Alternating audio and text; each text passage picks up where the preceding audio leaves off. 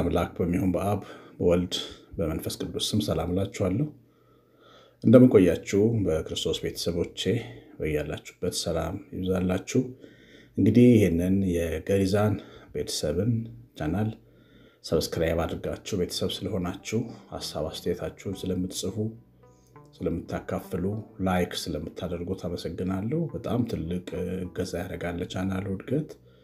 ከቻናሉም በላይ ደግሞ መልእክቱን ተሸክሞ ሰዎች እንዲደርሳቸው እንዲያገኙት ያደርጋል እና ምናልባት ትንሽ ስራ ሊመስላችሁ ይችላል፣ ግን በጣም ትልቅ እገዛ ነው የምታደርጉት። አመሰግናለሁ ስለ ቀን ስራችሁና አገልግሎታችሁ። እንግዲህ ዛሬ የምንካፈለው አንድ አስር ነጥቦችን የአንዲት ጠንካራ ሴት ኳሊቲዎችን ነው የምናየው። በዚህ ውስጥ ሴቶች ራሳችሁን እንድታዩ፣ ወንዶችም ደግሞ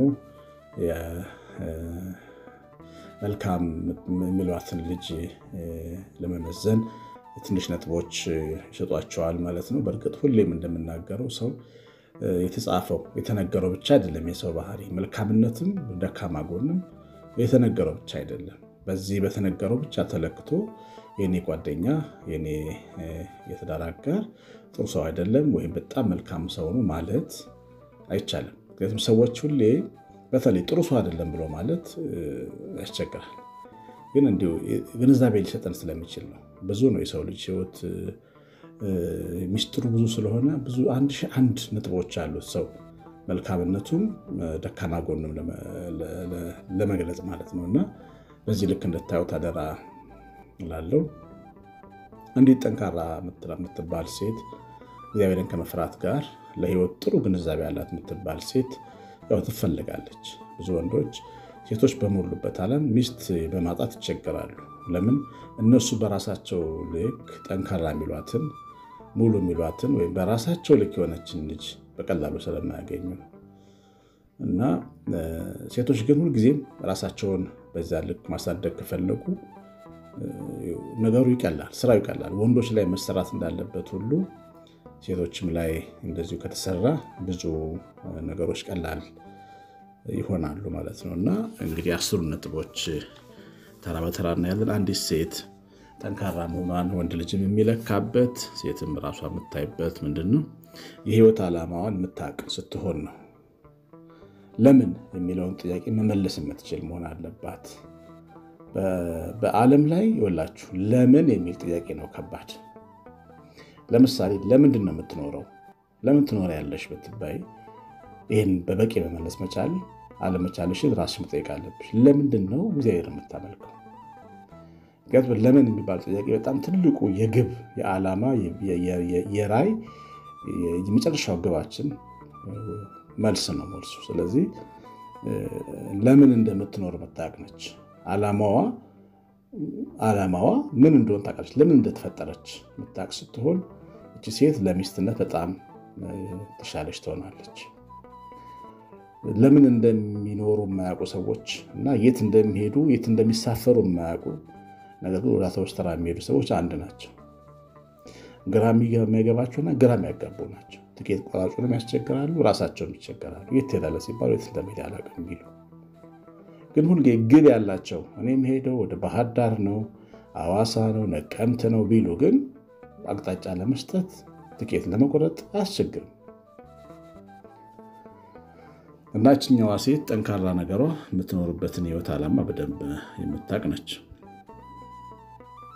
ሁለተኛው ነገር በሁሉም ጉዳይ ሰፊ ግንዛቤ እንዲኖራት ትተጋለች። በሁሉም ጉዳይ ታነባለች፣ ትጸልያለች ስለ እግዚአብሔርና ስለ መለኮታዊ ጉዳዮችን ከመንፈሳዊ መጽሐፍትና ሰባኪዎች ትምህርቶች ትማራለች። ስለ ሳይንስ፣ ስለ ልጅ አስተዳደግ፣ ስለ ስነ ልቦና፣ even ስለ ስፖርት፣ ስለ መዝናኛ፣ ስለ ብዙ ነገር ስለ ሀገሯ የምታውቅ ብዙ ነገሮችን ለማወቅ ትፈልግ ነች። ብዙ ሴቶች እውቀታቸው ውስን እንዲሆን ይፈልጋሉ። ሌላውን ማወቅ የማይፈልጉ ናቸው። ማወቅ የማንፈልገው ነገር በበዛ ቁጥር የምናገባው ሰው ጋር መስማማት ያቅተናል። ለምሳሌ ስለ ስፖርት ምንም እውቀትና ስሜት ሳይኖራችሁ ሲቀር ባላችሁ እንደዛ እንዲሆን ስለምትፈልጉ ግጭቱ ይከፋል። እናንተ ስሜት ስለሌላችሁ ነው። እሱ ግን ስሜት አለው። ስለዚህ ስለ ስፖርት ያለው ስሜት ምን እንደሆነ ትንሽ ማወቅ ያስፈልጋል። ቢያንስ ስታውቁት ትረዱታላችሁ።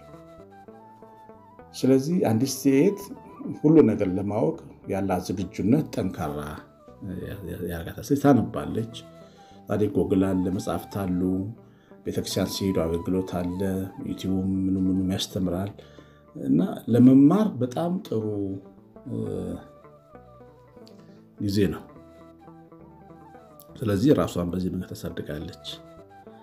ሶስተኛው ነጥብ የሆነ አብረው ባሉ ጊዜ አንዳንድ አለመግባባቶች ሲነሱ ነገሮችን ቶሎ ለመቋጨት ነው የምትፈልገው። እንዲሰፋ አትፈልግም። አለመግባባት ያው ግጭትና አለመግባባት ያዥ ነው የሚፈልገው። በደንብ ከፈለጋችሁት ይሰፋል። ሶስት አራት ሳምንትም ማድረግ ትችላላችሁ እያረዘማችሁት። ግን በሶስት ደቂቃ እዛው ዘግቶ መቀመጥ ይቻላል። ሁለት ባህታውያን መጣላት ረስተዋል። በበረሃ ውስጥ በመንፈሳዊ ሕይወት ነው የሚኖሩት። ብዙ ዘመን አብረው ይኖራሉ። እስቲ እንጣላ፣ መጣላት ምን ነበረ ተባባሉና መጣላትማ በቃ ይሄን መጽሐፍ የኔ ነው ስልህ አንተ የኔ ነው ካልከኝ በዛው እንከራከራለን፣ እንጣላለን። እስቲ እንሞክረዋሉ እና ይህ መጽሐፍ የማን ነው አለው አንደኛው አንደኛው የኔ ነው አሉ ማለት ነው። በቃ የኔ ነው ያንተ ኢየሩሳሌም የኔ ነው የእርሱ ነው በሉ ይውሰዱት ብለው ወዲያው መጣላቱን ረስተው ወደ ቸርነታቸው ተመልሰው ገቡ እና እንደዚህ አንዳንዴ ቶሎ ጥልን ቁጭት የሚያደርጉ ሰዎች አሉ። ጥልን የሚያረዝማሉ። እች መልካም ሴት እች ጎበዝ ሴት ጥሎችን ወይም ችግሮችና አለመግባባቶችን ቶሎ በመቋጨት የምትታወቅ ናት። ሌላው አራተኛው ነገር ወንድ ልጅ እንደሚጠነቀላት ታውቃለች ታውቃለች፣ ዋጋ ትሰጠዋለች ለዛ ነገር። ብዙ ጊዜ ወንዶች የሚከፍሉትን ዋጋ ሴቶች ስለማይረዱ ነው የሚበሳጩት። ሴት ሁሉ የማይገባት አድርገው የሚቆጥሩ ስለዚህ ነው። አንዳንድ ሴቶች ምንም ነገር መስማት አይፈልጉም፣ ስሜታቸውን ብቻ እንጂ ያ ወንድ ምን ያህል ርቀት ምን ያህል ዋጋ ከፍሎ እንደመጣ ወደዛ ለማወቅ በጣም ሲቸገሩ ታያላችሁና እቺ ሴት ግን በደንብ ዋጋ ትሰጣለች ማለት ነው። ሌላው ማህበራዊ ሚዲያን social media የምትጠቀመው በጣም smart በሆነ መንገድ ነው የሚጠቅም በሚያንጽ ወይም ደግሞ በጣም የሚያዝናና ጠቃሚ የሆነ ማንንም የማይረብሽ የእሷንም ክብር ሜዳ ላይ በማይጥል መንገድ social media ን ትጠቀማለች። በዚህ ያው ተወዳጅ ያደርጋታል። 24 ሰዓት ጓደኛዋ አብሯት እንዲኖር አትፈልግም። ይሄ በሞኖፖል መቆጣጠር ሁሉ ነገሩን ተቆጣጥሬ ልኑር የሚል የገዥነት ስሜት ይዛ አትመጣም። እንዲህ አይነት ሴት ብዙ ጊዜ ለባሎች ለወንዶች ትፈለጋለች። በወንዶች ነፃነታቸውን ይፈልጋሉ። የሚዘገኙትም ለመወሰን እታሰራለሁ ከሚል ፍርሃት ተነስተው ነው። ስለዚህ 24 ሰዓት ከኔ ጋር ካለውን ካትወደኝ ማለት ነው የሚል ከባድ መመዘኛ አታመጣም። ለሰዎችም ትሰጣለች፣ ለስራውም ትሰጣለች፣ ለጊዜም ትሰጣለች። ባሏን ለራሷን በራሷ ልክ ትወስዳለች ማለት ነው። ከማንኛውም ሰው ጋር ብታስተዋውቃት አንተ አታፍርባትም። ብታሳፈር አይደለች።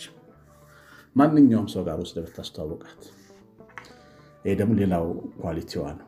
የምትናገረውን ታውቃለች፣ የምታደርገውን ታውቃለች፣ እንዴት እንደምትቀርብ ታውቃለች። ጨዋ ትሆናለች።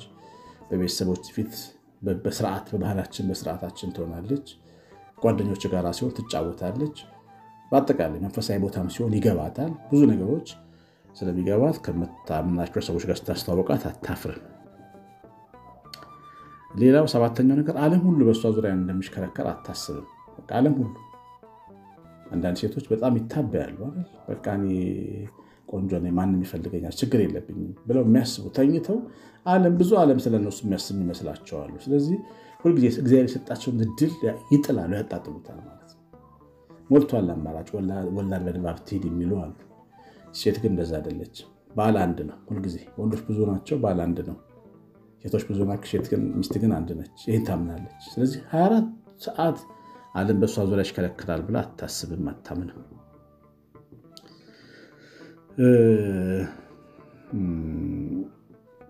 የልጅ ጨዋታ ወይም game ወይም ምንድን ልጆች የሚጫወቱት ጨዋታ አትጫወትም። በኑሮ ልክ የሌለው ቅናት፣ ምቀኝነት ለምን ተመቸ፣ ለምን አረፍክ፣ ለምን ጥለኝ እንዲያረክ አትልም።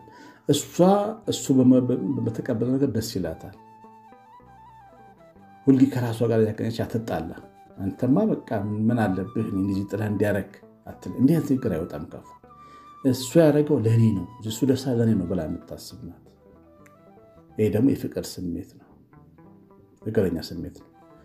ግን ለመጨረሻው አስረኛው የአንዲት ጠንካራ ሴት ትልቅ quality እግዚአብሔር ላይ ያላት እምነትና ጸሎት። እግዚአብሔር ላይ በደንብ መተማመን አላት። እግዚአብሔር ላይ መደገፍ አላት። እንደሚችል ታውቃለች።